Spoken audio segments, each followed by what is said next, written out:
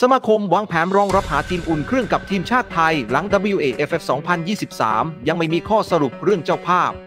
สมาคมกีฬาฟุตบอลแห่งประเทศไทย เตรียมแผนรองรับหาทีมมาอุ่นเครื่องกับทีมชาติไทย ในช่วงฟีฟ่าเดเดือนมีนาคม หลังยังไม่มีข้อสรุปเรื่องเจ้าภาพจัดการแข่งขันฟุตบอลชิงแชมป์แห่งชาติตะวันตก หรือ WAFF ตามโปรแกรมเดิมทัพช้างศึก ตอบรับเข้าร่วมแข่งขันรายการดังกล่าว ที่ประเทศสหรัฐอาหรับเอมิเรตส์ ซึ่งเป็นช่วงฟีฟ่าเดย์ระหว่างวันที่ 20 มีนาคมถึง 2 เมษายน 2566 อย่างไรก็ตาม WA f ได้แจ้งให้ทุกชาติทราบว่า ยังไม่มีข้อสรุปเรื่องเจ้าภาพจัดการแข่งขัน และแผนในการที่จะดำเนินการอย่างไรต่อไป โดยพาทิตสุภพงศ์เลขาธิการสมาคมกีฬาฟุตบอล เปิดเผยว่า ทางสมาคมกีฬาฟุตบอลแห่งประเทศไทย ได้รับทราบเรื่องดังกล่าวแล้ว และไม่ได้นิ่งนอนใจ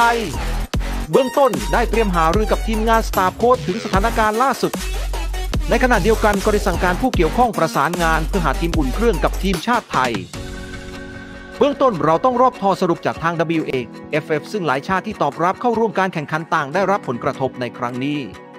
ขณะที่ WA FF คงต้องมีการประชุมเพื่อหาข้อสรุปอย่างเร่งด่วนว่าจะยังจัดการแข่งขันต่อหรือไม่ อย่างไรก็ตามในส่วนของสมาคม เรากำลังมองหาทีมมาอุ่นเครื่องกับทีมชาติไทยแทน และได้มีการติดต่อประสานงานกับชาติต่างๆ อย่างไรก็ทางสมาคมพยายามที่จะหาทางออกให้ดีที่สุดภายใต้เวลาที่จำกัด เพื่อให้ทีมชาติไทยได้มีเกมอุ่นเครื่องตามปฏิทินฟีฟ่าเดเดือนมีนาคม